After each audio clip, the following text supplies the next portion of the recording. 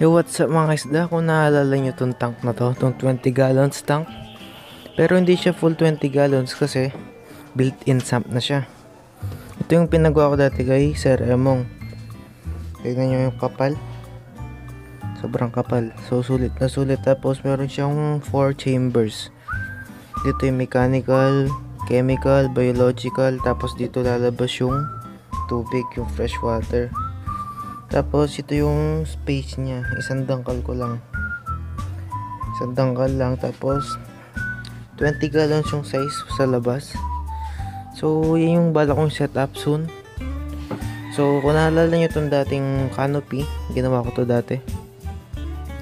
Gagawin, gagawin ko ulit to. So, lilinisin ko. Tinanggal ko na yung mga ilaw niya. Ito, yung ano, pinapatong ko lang to. Para di na hassle. Patong-patong na lang. Di naman to matatanggal kung di gagalawin. Itong space na to dati para sa filter. Ngayon, gagawin ko siya para sa airflow. Para kasi dito, maglalagay ako ng mga ilaw-ilaw dito. Dito ko sila lalagay. So, ayun, subukan na natin. Pero, pipinturahan ko muna. Yun muna ang first step. So, tara na. So, ito na guys, niready ko na yung pintura. Tapos, ito yung tinanggal ko dati.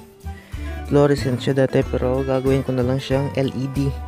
So, next time nyo na makikita yun, kung paano ko gagawin. Or, hindi, next time na, para ibang tutorial yon papakita ko muna to. Kasi, halos dito yung mga ilaw.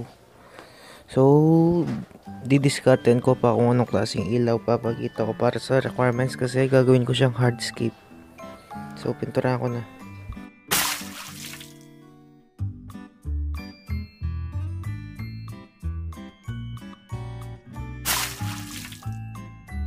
So, yan natapos na mga kaisda.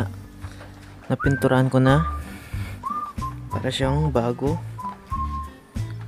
So, wait ko munang matuyo. Next time, bukas ko na babalikan. So, ang next step natin guys, mga kaisda. Diba, nandito yung butas, banda dito.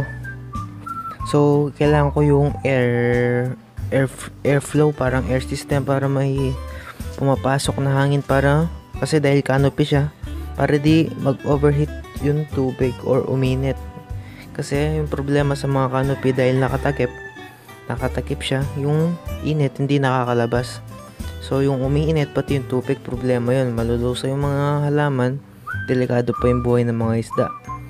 So itong tank na to nagamit ko na, lilinisin ko ulit. Nalinis ko na yan pero lilinisin ko ulit. So gusto ko itong tank na to. Sa ngayon ito yung favorite tank ko kahit wala pa siya laman. Dahil hindi siya nakakapagod linisin dahil built-in na yung filter niya. So, hanap, ayos, tignan ko yung air system. So mga isdaan dito yung mga gamit-gamit ko na dati. Ito yung balita sa isda natin. Okay na okay siya. Mas magandang quality siya kasi kahit babae siya, malaki yung ulo niya. So, minsan lang yung mga ganun na flower horn. Hindi naman minsan. Eh, di naman to, ano eh, hindi naman to kamfa. So, dito na, hanapin ko yung mga yon. Nabili ko yung mga yung kay Sir Ronald.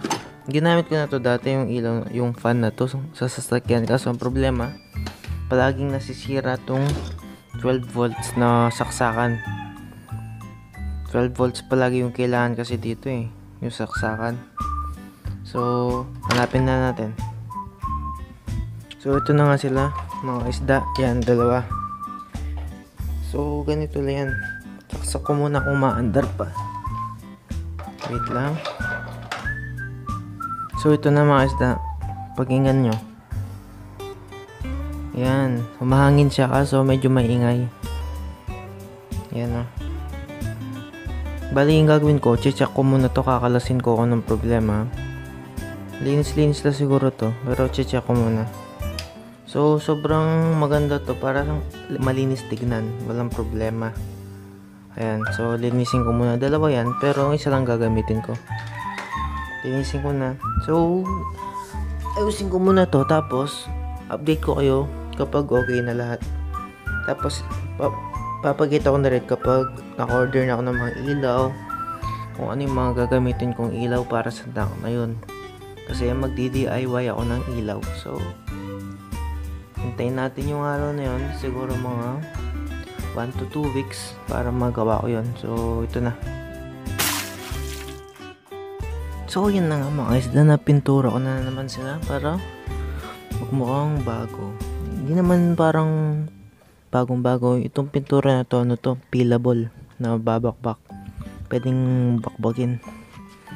So ayan. Okay na sila.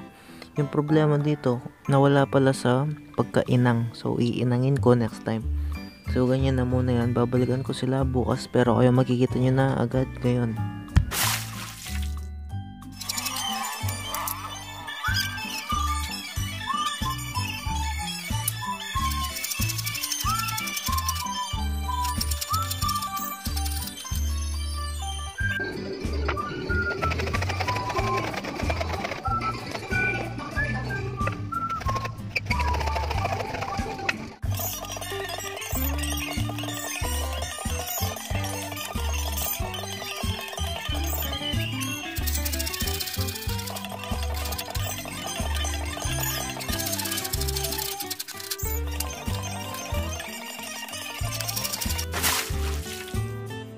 So mga kasda, tutuloy ko na yung ilaw.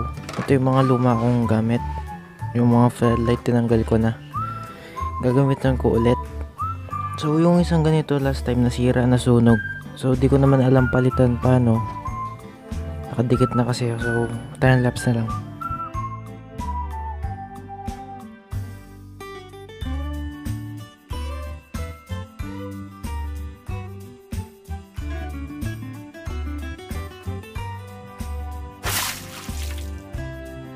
So guys, yung wiring nito is sinunod ko lang yung color. Yung red yun yung positive, yung blue yung negative. So yung sa wire ko naman sa kuryente, yun yung black. Ayan. Pagtitikit ko lang sila. Hindi ko na tinanggal tong case nila kasi heatsink to. Kapag tinanggal ko to, hindi ko alam kung may masusunog o baka may yung capacitor o insulator masunog yun. Capacitor, ano bang tawag sa mga to? Basta yun. Ito yung mga delikado masunog. Kapag nasunog na, hindi na pwede. Pero pwede palitan kaso daw marunong. So, ito na yung wiring na gagawin ko niyan. Yan. So, yan na muna. So, mga isda, ito yung connection. So, red to red, blue to blue parallel sa mismong outlet. Ito yun. Nakadirect siya. Itong mga yellow na to para sa mga ground dyan dun sa Europe pa yun. Yung tatlong saksakan, yun yung kailangan pa ng adapter. Kaso di ko na ginamit, pares lang naman. So yun mga isda natapos na. Hindi masyadong malinis yung wiring. Di ano no lang electrical tape para maging ganyan. Tapos ganito yung ginawa ko. Nilagyan ko ng pang-ipit para di gumalaw na. Tapos may butas dito. Dito lalabas yung kuryente. Tapos ayan okay na siya. Ganyan. Tapos bebend ko to. Bebend ko to ng konti para makapaglagay pa ako ng ibang ilaw dito. Pero yun na muna. Next update na lang soon kapag may laman na. Yo guys, tapos na. Ayan na. Bubuksan ko ha. Di niya kaya yung camera ko, di kaya yung sobrang ilaw. Ayan na. Shit. Stick. So, abangan nyo tong tank na to. Ito na lang yung pagkakaabalahan ko talaga. Sobrang lakas ng ilaw, di nakakayanan ng camera. Ayan o sa baba ayan saktong sakto lang.